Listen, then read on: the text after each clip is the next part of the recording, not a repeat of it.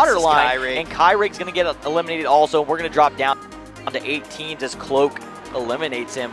But he's safe. Two members of TK going to fall, all to the guns of GS. GS is looking on fire here, taking down three members. Now SCDX going to light up the board here, and that is going to be two members from that team, Memento and MMX. We're starting to see Astral get some kills on the board, but also dying as well. It could go either way. Cloak starting to was starting to heat up, but gets cut down to size by STDX. Yeah. That is going to oh, be bad for Dare, and you can see this fight is still going on between these two teams. Dare going to be able to pick up some kills inside of this gas. They're falling as well. This team just absolutely trading out. We're going to see STDX. I believe they only have three members left standing at this point. They're going to eliminate Team Dare, though. We are down to four.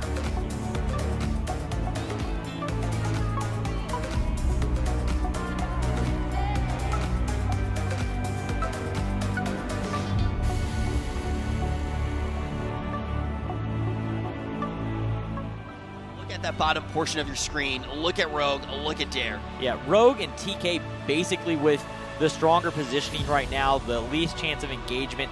TK obviously with much more room than Rogue has here, but Rogue can play into Dare. Who is in the position to start this first engagement? We're going to start seeing the teams filter into the safe zone right now. At this point. Yeah, this is absolutely so much Look smoke at is Dare, coming out. Soar, Kyrig's going to go down to the gas here.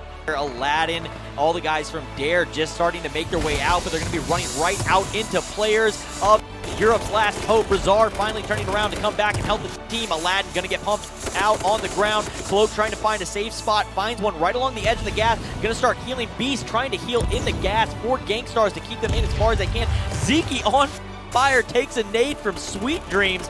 Rogue drop takes out Memento. Sweet Dreams then takes out Cloak. Sweet Dreams goes down to Thugga, and then Linden. Is, this is going nuts, man.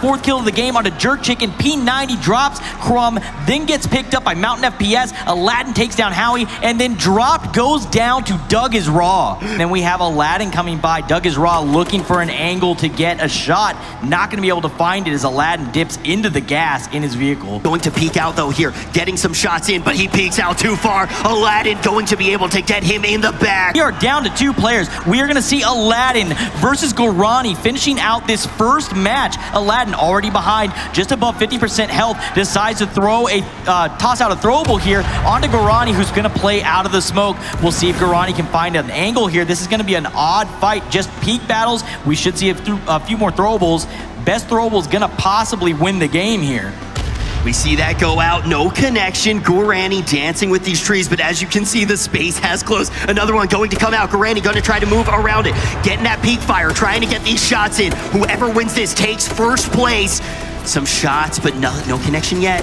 That's going to be the helmet. Gorani going to take a shot as well. Another helmet inside his backpack. Going to throw that on immediately. Going to try to heal himself up. A little bit of patience here, though.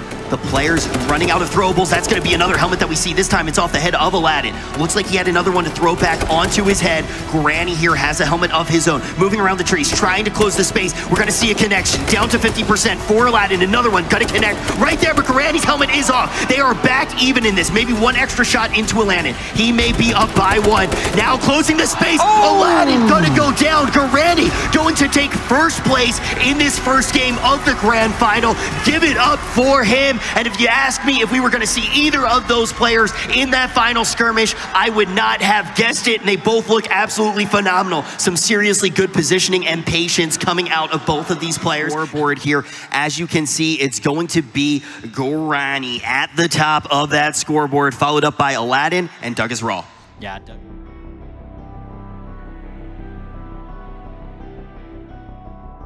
Whoever gets first place overall, $100,000 on the line in total. Gabesmon getting shut down a little bit early. We saw Aladdin really heat up in the last game, looking to do it here again. Yeah, Aladdin putting himself in a great position, making top 20 here again, guaranteed.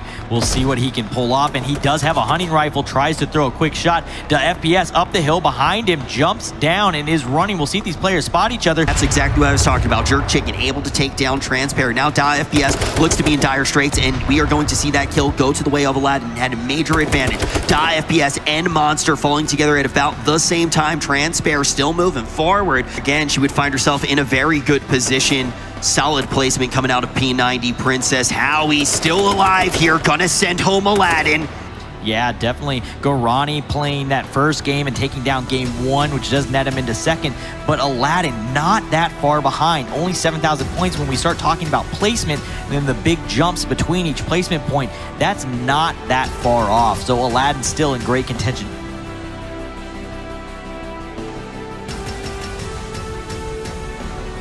Game for prime time to take down that top spot. Sweet Dreams also still in this match. Both these players in top contention for first place overall. Aladdin here, as we see, is playing out of the smoke in the middle. Not a whole lot of cover in a rough spot. You can see his vehicle is smoking in the middle there. He can't go that far in it. This is a rough spot for Aladdin. If he gets eliminated, he's basically setting up Sweet Dreams to take it all down. Aladdin. This is one of the oh. players that can take the whole thing. We can see the smoke coming out and just kill after kill in the kill feed. Radak, Gabesmon, and Blood Inferno all getting sent home. Now Aladdin is in a bad car and in a bad fight, but he's going to be able to send home a Dread from LG. And inside the gas, Tixie is back with the Cinderella story. He is going to send Aladdin home and We'll have to see. I mean, we, we have a pretty clear idea who could be in the top three, and we're starting to see the players line up on the stage here. What was it like to be playing for so much money on the line? Nerve-wracking. Yeah, absolutely nerve-wracking. My heart's going fast. I can imagine, man. Yeah. You were you were in those top top 15, top 10 scenarios almost every game. Mm. Which one of those those circles do you think was the absolute most heart-wrenching on you? What was the hardest one of those three games? Probably the second game that I played. It was when it was up in the mountains. I had no idea what was going to go on. I had no idea about the terrain around it because you don't you don't commonly play there.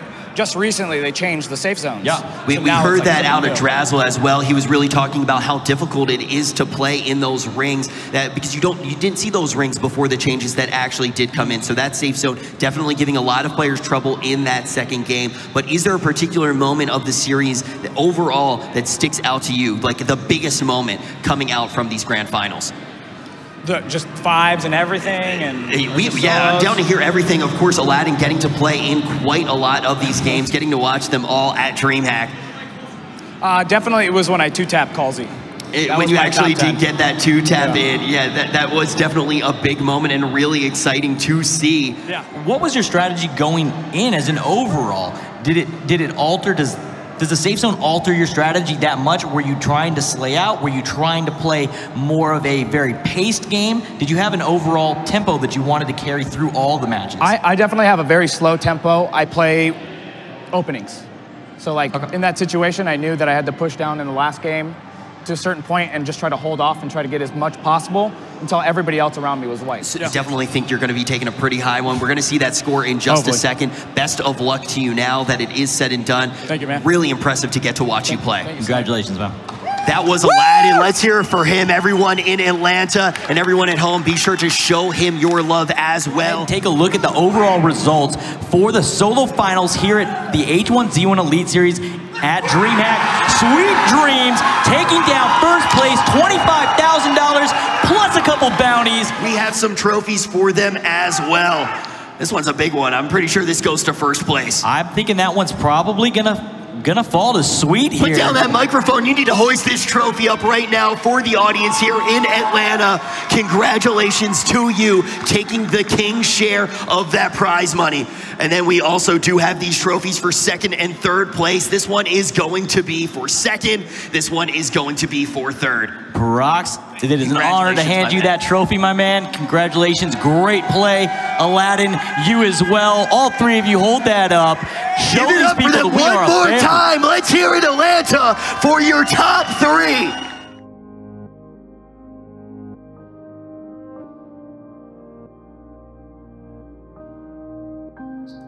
Overall, I mean, I enjoyed the experience of the event. Obviously, it had its ups and downs. Uh, obviously, I don't think we performed as well as we could have, but uh, it was a good time. It was definitely, it's only my second experience playing H1Z1 on land, so it was fun. Uh, I learned a lot but definitely things that I want to improve on, things I think we did all right, but there's also a lot of things that we could have done better.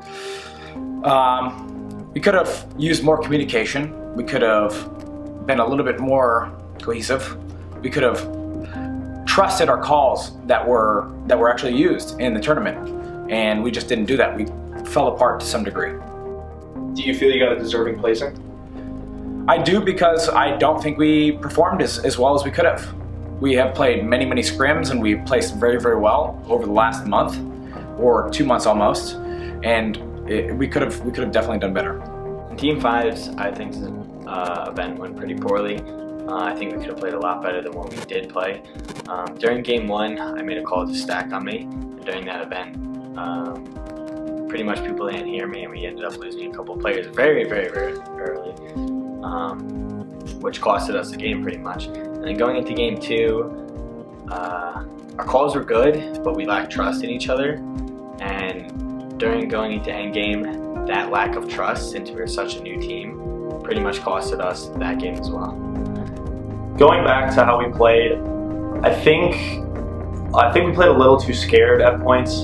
Um, and I think a big thing that came down to us, um, what we could have done better, and what uh, what really led to us um, not placing as well as we did was the fact that we weren't confident with each other. We didn't trust each other enough, uh, and that led us to um, basically play like scared, and we weren't uh, we weren't prepared to work as a team as much as I think that we should have been. Um, what really surprised us the most was the fact that recently the safe zones changed. It was a very dynamic safe zone change that really kind of caught us off guard. There's no way, there's, there's a small way of reading it, but then there's a total different randomity that, that it causes. And so you have so many teams trying to push into the middle or trying to push to the sides and just barely moving up the safe zone. And it just causes so much chaos. There's no, there is to some degree an ability to read it, but it makes it very difficult for how much we were prepared, I think I definitely think we should have placed better. However, uh, I also thought there were a lot of other teams that didn't even place as well as us that were also uh, pretty deserving higher placements. We, like I said, we needed to work on our communication more. We're a lot a team compared to the other teams. We scrapped together kind of at the last minute, but I definitely think we, we could have placed better. I think we performed pretty well in the scrimmages that we've done before, but uh, still lots of things to work on, but I'm not totally upset with where we ended off.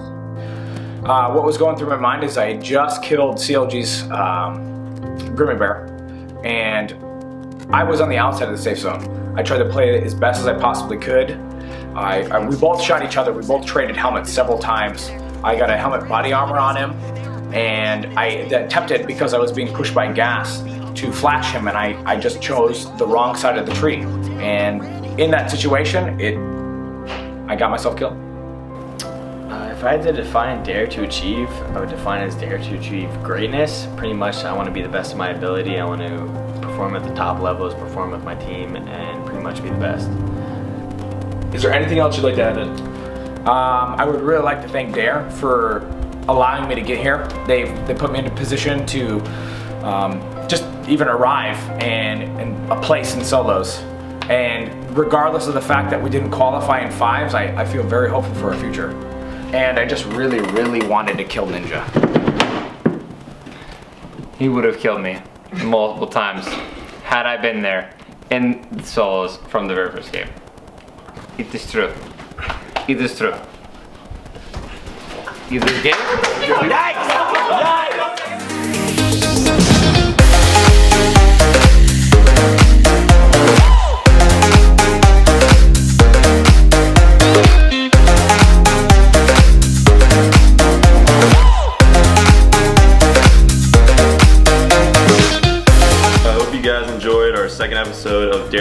We had an awesome time at this event this weekend at DreamHack Atlanta. Even though we didn't turn out how we wanted to with the team, we still are going to grow from this. This is only the beginning. A lot of great dudes with this team and H1Z1. And we had a blast overall. Hope you guys did enjoy. This has been your boy Tanzer, and we'll catch you guys in the next Dare to Live.